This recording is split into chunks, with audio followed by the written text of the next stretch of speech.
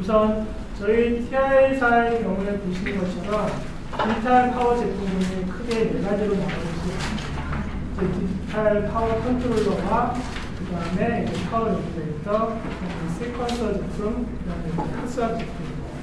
보시게 되면은 이렇게 broad한 제품을 가지고 있기 때문에 어, 다방면의 시스템에 저희 제품을 적용하실 수가 있고요.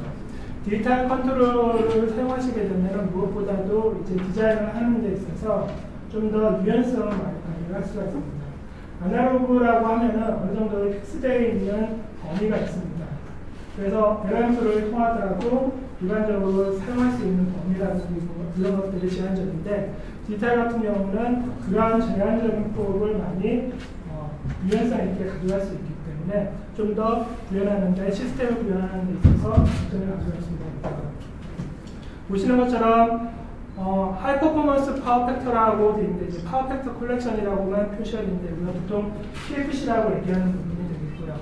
그 다음에 이제 ACDC rectifier, 그 다음에 DCAC 인버터 부분, 그 다음에 power conditioning, 그 다음에 non isolated DCDC나 또는 isolated DCDC 컨버터 이런 전반에 걸친 파워 시스템을 이제 디지털 파워 IC 컨트롤러 내지는 그런 제품들을 통해 가지고 지원을 할 수가 있습니다. 또한 저희가 이제 PMBus를 이용한 이제 그 point of load regulator라고 하는데 보통 시스템에서 파워에서부터 이제 필요한 어, 제품의 load가 있는 데까지 direct로 연결이 될 수 있는데 지금 보시는 것처럼 30A까지 지원 가능한 FET를 내장되어 있는 레귤레이터 제품이 가능하고요.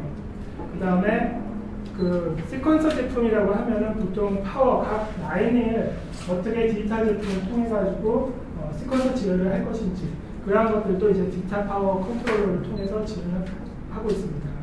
또한 여기서 보신 것처럼 hot swap이라고 해서 보통 시스템에서 이제 hot swap을 많이 필요로 하게 되는데 일반적으로 장치 같은 경우에 탈부착을 하게 됩니다. 탈부착을 하게 되면은 보통 발생될 수 있는 어, inrush라든지 over, 어, 이러한 거에 대해서 대응할 수 있는 시스템이 보통 핫스와 시스템이 되고요.